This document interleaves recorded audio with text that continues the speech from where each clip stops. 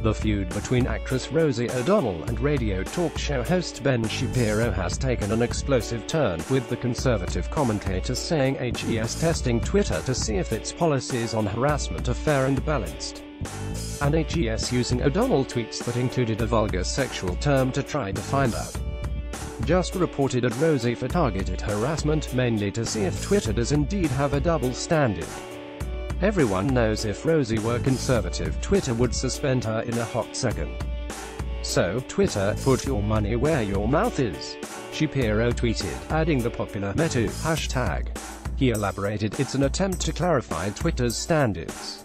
I don't actually want them to ban or suspend Rosie. I want them to stop applying their own rules inconsistently. It's an attempt to clarify Twitter's standards. I don't actually want them to ban or suspend Rosie.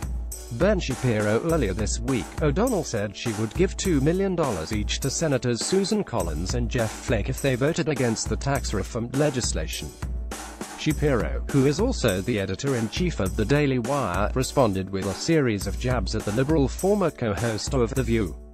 One tweet cited an article he wrote for his website claiming, Rosie O'Donnell violates federal law, offers to bribe Republican senators to vote against tax bill.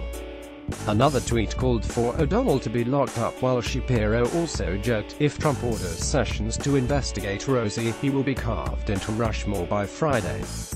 After the barrage of Shapiro posts, O'Donnell sent a profanity-laced reply Suck my D Ben. The exchange continued, leading Shapiro to make even more claims against O'Donnell. You're already a felon, Rosie. Don't be a homophobic sexual harasser too, replied Shapiro. After Shapiro alerted his followers that he had reported O'Donnell, she simply replied, Oh Ben, to which he answered, all victims deserve to be believed. O'Donnell's account was still active at the time this story was published, although she did block Shapiro.